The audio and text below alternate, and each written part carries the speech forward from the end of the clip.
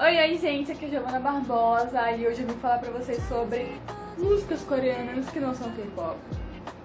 Que na verdade são K-pop porque são músicas coreanas e são populares na Coreia. É isso aí.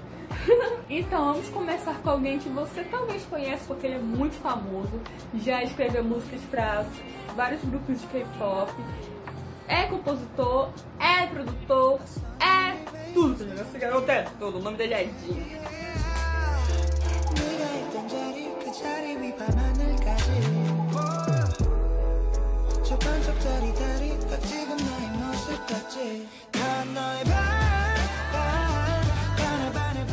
Ele se encaixa principalmente na categoria de R&B e trap. Acredito eu. Eu não sou especialista de música, mas é o que tá lá, né? R&B, hip hop, rap, trap, coisa assim. É, é o ramo dele.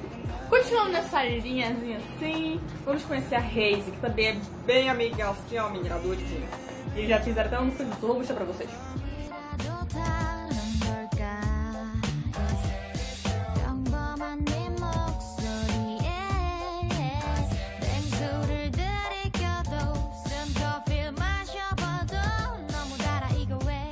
Reis, assim como o Jin, ela é compositora, escritora, produtora.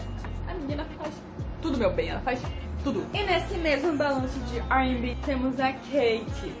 Só que assim, a Kate é um caso peculiar, porque ela é da YG, só que ela produz músicas em inglês. Aí deve pensar, nossa, será que ela é K-pop? Será que ela não é? Ela é coreana, né? Então, tipo, e assim, ela se encaixa do K-pop porque eu conheci ela por meio do K-pop, então ela é do K-pop e ela vai estar aqui sim. Pode rodar a Kate.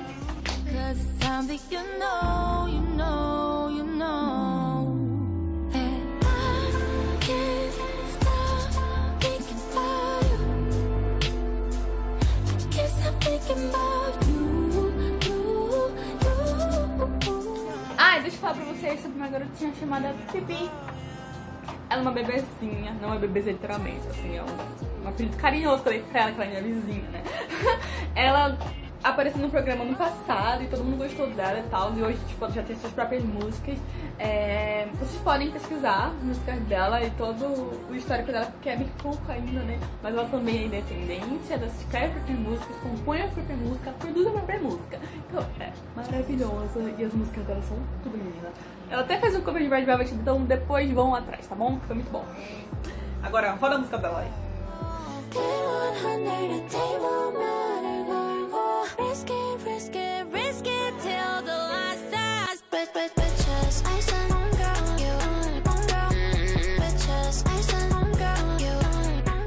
Agora vamos puxar o assunto para o indie, né? Porque, né, o indie assim está nos nossos corações, a maioria de nós K-popers saímos do indie, fomos direto para o K-pop, não sei como. Eu fui uma, inclusive, pessoas que eu tava indie, né? Tipo, oh. E agora eu tô aqui. Eu quero apresentar pra vocês um grupo chamado Standing Egg. É um grupo que eu tenho muito carinho, assim, porque eles são uns amorzinhos. Então, por favor, pesquise sobre eles, vão dar views e vão dar likes, tá bom? Eles são muito bons, eles são muito bons, muito bons, muito bons. Tipo...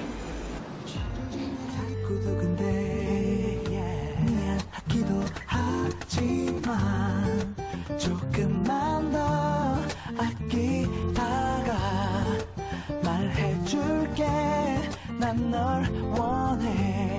gente, geralmente uh, os cantores indies, R&B, cantores de balada, eles são muito ligados entre eles, entendeu? Porque, né, é como se fosse um grupinho.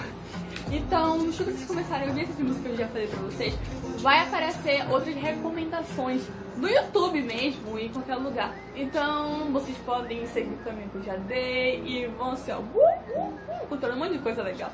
No Spotify também tem um monte de playlist de indie, de R&B, então procure, é bem interessante, a gente até às vezes se enjoa, né, do K-pop por ser muito, muito padrão, assim, muito robô, muita cópia da cópia da cópia, a gente acaba enjoando. Aí a gente quer procurando uma coisa nova, não tem por onde começar, então já dei pra vocês a dica, tá bom?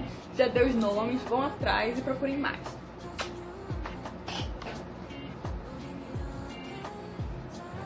Não sei por que eu dei beijo, né? Tem mais uma coisa pra falar ainda. Eu quero falar pra vocês de uma mulher chamada Lim Kim. essa mulher é fogo, menina, essa mulher é fogo. Ela passou por todo aquele processo de ser trainee, de debutar e tudo mais. Mas assim, ela fez assim, ó. Tchau, tchau, não quero isso pra mim. Ela não gostou, aí, tipo, ela determinou que ela faria somente músicas para demonstrar a força da mulher amarela. E ela conseguiu. Dá uma olhada nessa música aqui. É menina.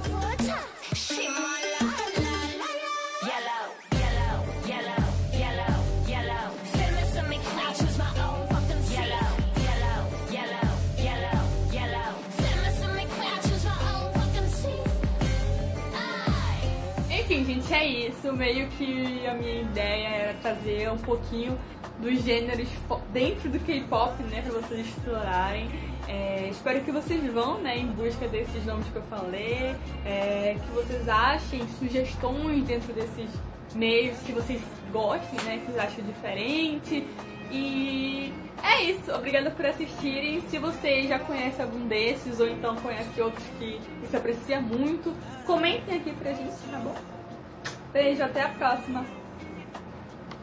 Melei minha mão com balde. Tchau!